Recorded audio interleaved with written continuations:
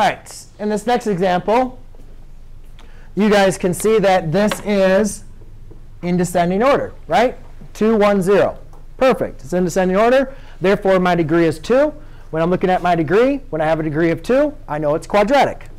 So I can just say this is a quadratic. And then I count how many monomials I have. One, two, three. So since I have three monomials, it is a trinomial. So that's a quadratic trinomial. OK?